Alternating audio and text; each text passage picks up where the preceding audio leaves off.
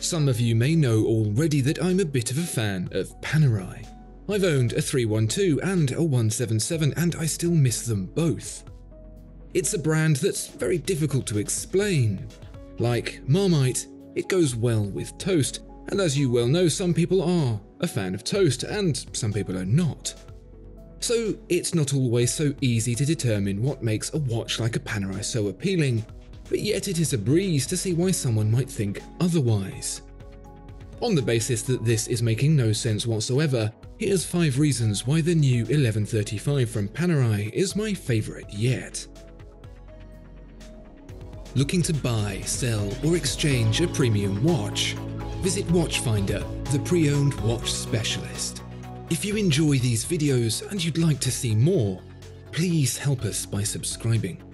It may not seem like much, but it really does mean a huge amount to us and me. Thank you. There's something incredibly rare about the Panerai Luminor. It's a watch that looks out of the ordinary that isn't just like that because, well, design. Some sweater wearing art college kid didn't put pen to paper and think, watches would be cooler if they were styled like this. The Luminor appears like it does because of reasons of practicality and circumstance. We think of the Italians, where the design originates, as being incredibly stylish, and being one eighth Italian myself, I tend to agree. But in reality, the Luminor is a hodgepodge of practical evolution and make do that yields the net result of charm. That bulging square shape comes from the pocket watch cases to hand at the time, styled for the Art Deco period. The twin layer numerals, scribed to give the long lasting but dim radioactive luminous paint more hope of being seen at night underwater. The Crown Guard is pretty much a bodged solution to avoid dealing with field repairs on stripped screw down crowns because the military budget could only stretch to manually wound movements. Like a building might have extensions growing out of it from many different periods in time, it seems on paper that the Luminor should feel muddled, awkward, and ugly. But like the buildings, something remarkable happens each addition and modification adds a chapter to its story and another dose of character that makes it all the more endearing. The Luminor's shape just feels right, and that's the best I can do to explain it. Do you remember that question in school? What's your favourite colour? Oh, yes, that's right. Of all the millions of incredible colours in the world, the deep oranges, sparkling greens, powerful reds, dusky pinks, to name but a few, I have to pick a favourite. Why do I need to pick a favourite? Is this going on a school census or something? Fine, it's blue. Blue is a pretty dominant colour in our day to day existence. The sky is blue, and so's the sea. Well, sometimes. In England, it's mostly all grey, but you know what I mean. It's not the Cote de Terracotta. Sapphires don't sparkle in deepest beige. Eiffel 65 didn't have a number one hit in 1999 with the song Burnt Umber. And if we're talking natural colours, we'd have to consider green. Except, green was the house at school all the loser kids were in, myself included, so that's a hard no from me. Blue it is. The cherry on the cake is that this blue shimmers in sunburst rays very much like the Côte d'Azur, which none of us have been able to visit for a year, so perhaps my preference is a little bias. As you can imagine, being strapped up by a military budget, Panerai isn't traditionally known for complication. At a stretch, the 8-day Angelus in the Egiziano is about as fancy pants as past Panerai got, and that makes for a good start for the 1135, which can merrily tick along without another wine for the same week and a day. But you can't say no to a good complication, can you? Especially a linear power reserve display that looks just like a fuel gauge.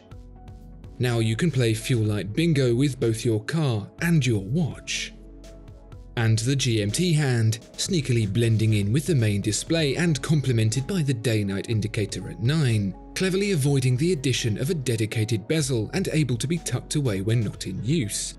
If and when I ever get to set foot across the channel again, it's a genuinely useful function.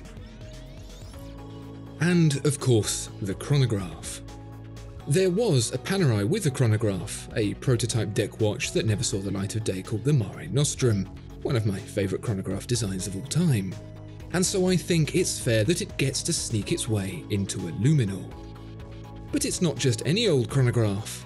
This is how they did it old school, with just one pusher for start, stop, and reset. Quaint, yes. Less practical, maybe. Did you really need both pushers? If there's one thing that puts off a potential Panerai candidate, it's size. And not necessarily even the physical dimensions. This 1135 is a solid 44mm in diameter and almost 20mm thick, sitting tall with that deeply convex sapphire. But the weight that comes with it. In steel, this watch would be a noticeable thing to wear, turning your arm into a wrecking ball to wreak havoc on the nearest doorframe or table edge. Not for the 1135, because the 1135 is made from ceramic. That's no great achievement in this day and age, the first ceramic watch debuting all the way back in 1962, but in a watch this chunky, it is a revelation.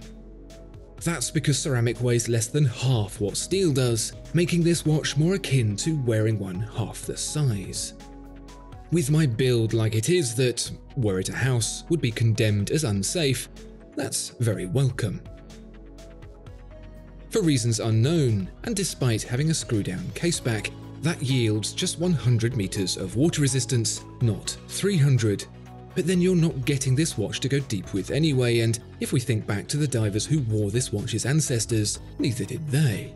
Those rideable torpedoes, someone convinced them to pilot, had a maximum operating depth of about 30 meters. The 1135 is powered by the caliber P2004, which is, by sheer coincidence, the same year that Rolex, the watchmaker that actually built Panerai's watches in the early part of the 20th century, finally bought out Aegler, the company that Rolex paid to make movements for the watches it was paid to make for Panerai, to officially become an in-house manufacturer. With the caliber P2004, Panerai continues to demonstrate its long-standing independence from Rolex with an in-house movement of its own. Based on the P2002, an 8-day GMT movement, the P2004 racks up 321 parts with the addition of a mono-pusher chronograph.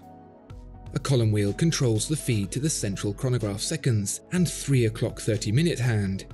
Just two of the eight hands the dial somehow manages to accommodate without feeling overwhelmed. Panerai calibers can often appear very functional, how they should be really, but the P2004 lets its hair down just a little with its unusual arrangement of snaking bridges that expose a little of the chronograph's mechanism. It's no hand-wound A. Lange & Söhne caliber, but it's still a uniquely impressive thing, both to use and to look at. Panerai does actually make a skeletonized version of the P2004, but the sleek black case and inky blue sheen of the dial may have stood a little at odds with it. Sadly, as if to underpin my chances of ever seeing a deep blue sea again, only 200 pieces of the 1135 will ever exist. But I'd rather end on a high note for this gem of a Panerai, and that's with the name.